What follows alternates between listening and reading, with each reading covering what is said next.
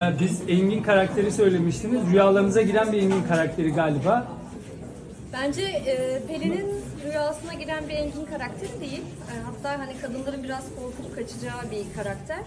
Aslında zaten hani hayalin dahi kuramadığımız bir şey karşımıza geldiğinde veya rüyamızda gördüğümüzde gerçekleşince böyle e, gerçeküstü ve farklı olur ya biraz öyle bir iş. O yüzden hani Engin biraz kaçırasın. Ya evet Engin bir, bir antipatikliği var Engin karakterinin.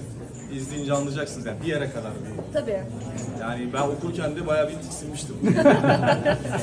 bayağı tiksine tiksine okurum ama sonradan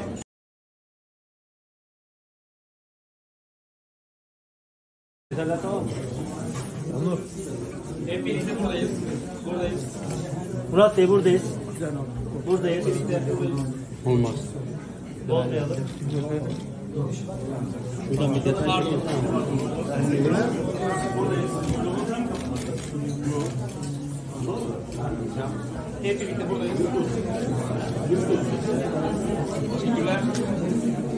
Her şey yolunda. Viyana'daydım dün. Hızlıca geldim, galaya yetiştim. Böyle bir sağlam bir kış geçiriyoruz. Biraz hastaydım.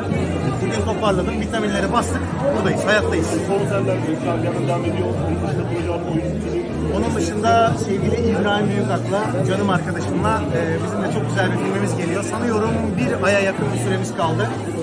E, biz de yine başka bir dijital platformdayız. E, böyle platformların ülkemizde varlığını sonuna kadar destekliyoruz. İyi ki varlar. Evet, Çağlar Bey bir anda. Filmin galasındayız. Hoş geldiniz.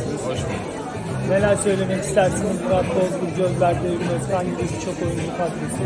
Ve Türkiye'nin, e, Türkiye'de ilk yüzler de onlar oldu bu platformla birlikte. Sevindirici açıkçası evet. Amazon'un e, ilk Türk yapımı. Sevindirici. Umarım devamı gelir. Büyük hayırlı olsun diyelim. Çok yakışmış size. Böyle görünce böyle tatlı kabadayı havası istiriyorsunuz. Yani biraz böyle takılayım dedim. Ee, ben de magazinde öğrendim. Yeni bir ben oluyormuşum. Bari dedim bir şey yapayım.